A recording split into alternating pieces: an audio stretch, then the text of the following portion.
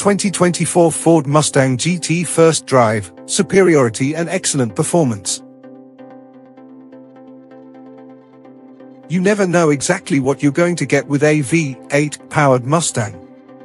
Some of the best performance cars we've ever driven include the likes of the flat plane crank powered Mustang Shelby GT350R, the Burley Mustang Boss 302 Laguna Seca, and the flyweight 1993 Mustang Cobra. Others, such as the SN95 Mustang GT, were underwhelming, or worse, just plain forgettable. So, you might understand our hesitation to predict anything going into the media drive event for the new 2024 Ford Mustang GT. However, the surprisingly fun 2024 Mustang EcoBoost gave us hope. Could the Mustang GT possibly deliver? What's new with the Mustang GT? Before we dive in, let's quickly cover what's new and what isn't. The most obvious change to the S650 Mustang is the new sheet metal. Ford designers applied first-gen Mustang styling marks again, for the third straight generation, although they did an admirable job of making the car look fresh overall mixed in with obvious callbacks to the 67 and 68 are subtle nods to more recent Mustangs, such as the new Edge and S197 inspired taillights, as well as some new cues of its own. The EcoBoost, GT, and new, FOC 2024 Mustang Dark Horse all have unique front-end treatments. We particularly love the GT's new nostrils in its grille, which feed the heavily updated, freer-breathing 5.0-litre Coyote V8. The basic GT engine's two new airboxes, teamed with a larger plenum intake manifold, steel oil pan, and camshaft tweaks, result in a 20 horsepower boost, along with a 5 pound-foot deficit, versus the third-generation engine. With a healthy 480 horsepower and 415 pound-foot of torque on tap, we don't think any Mustang owner will crave more but opting for the $1,225 active exhaust boosts output to 486 horsepower and 418 pound-foot of torque. A 500 horsepower variant of this engine is available in the Mustang Dark Horse, which we will drive very soon.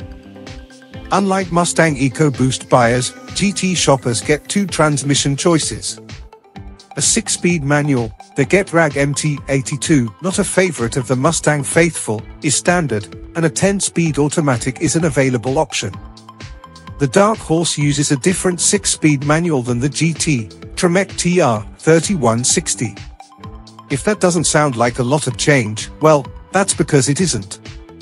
The bulk of the alterations from S550 to S650 occurred at the steering and chassis level, as well as in the interior using prior Mustangs such as the Mach 1 and Shelby GT350 and GT500, as well as rivals like the Toyota GR Supra, as benchmarks, Ford clocked a lot of hours tweaking the 2024 Mustang's new steering rack and revised chassis and suspension. It also spent some extra time developing the new GT Performance package. Available across the GT line, the $4,995 bundle swaps out the standard 3.15 limited slip rear for a 3.55 auto or 3.73 manual Torsen limited slip unit, 19-inch wheels with summer rubber, 6-piston front and 4-piston rear Brembos, stiffer springs, additional chassis bracing, and an electronic drift brake, among other things. MagneRide electronically adjustable dampers are also available for $1,750 on Mustang GT premium models. All Mustang GTS Ford had on hand for the launch were equipped with the performance package, MagneRide dampers, and active exhaust system. Trick Pony while it's easy to criticize Ford for spinning its wheels with the 2024 Mustang's powertrains, a few miles in the Mustang GT were all it took to convince us Ford made the right choices in where to invest. Unlike rival Chevrolet Camaros, prior Mustang GTS tended to be a handful when driven hard at the absolute limit with twitchy steering, an unsettled ride, and a propensity to easily oversteer in the hands of novice drivers. Why do you think spectators seek shelter when Mustangs exit cars and coffee events?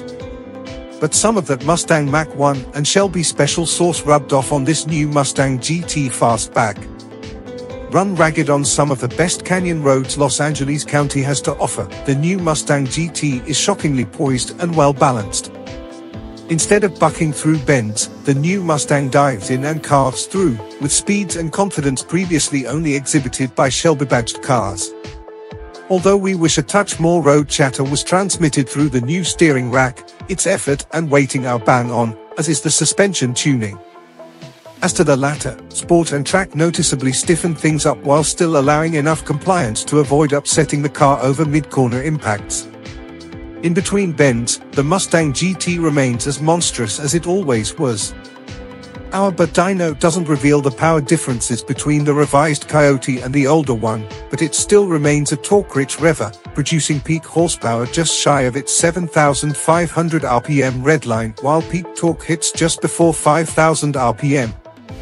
The 6-speed manual, now with the no-lift shift feature the Camaro SS has had for years, is a treat to work. Shifts are short and mechanical, and each gate is easy to find from the factory. Although the Mustang will automatically rev match downshifts for you, a defeatable feature, pedal placement is perfect for heel toeing the old-fashioned way, with good clutch feel and exceptional braking performance. The 10-speed automatic is faultless, too, even if it's not quite as fun. When left to its own devices, it responds to your driving style, holding gears for longer if it senses you're pushing hard, or upshifting for efficiency if you're simply cruising. Its rapid-fire upshifts will likely aid it in beating manual Mustangs at the drag strip, although its downshifts aren't quite as quick as those of dual-clutch transmissions such as the one found on the old Mustang GT500. Rowdy Roadster After being blown away by the tin-topped Mustang GT, we had high expectations for the new convertible. Unfortunately, it's not quite as cohesive a performance car as the coupe when you break away from highways and boulevards and into twisty switchbacks. The playful precision, not to mention the structural rigidity, of the fastback is missing from the vert. With a couple hundred extra pounds to lug around, ride quality is harsher, and there's noticeable cowl shake and chassis flex on anything but pristine pavement. Special screening, Regardless of the body style or powertrain you choose, the new Mustang's interior will likely take some getting used to. Gone is the dual cockpit arrangement seen on every Mustang since 1994. Instead you'll find a dual screen, driver-focused cabin akin to what you'd find on recent BMWs.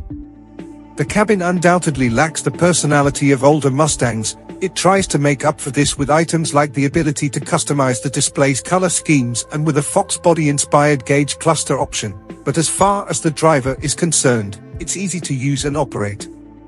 The digital instrument cluster and infotainment displays are crisp, clear, and easy to navigate.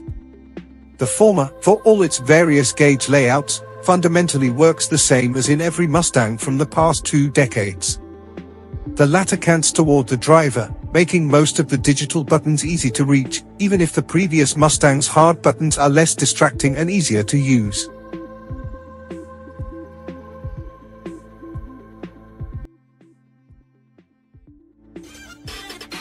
Thanks for watching. Drop a like. Leave a comment. And don't forget to subscribe to watch more videos like this.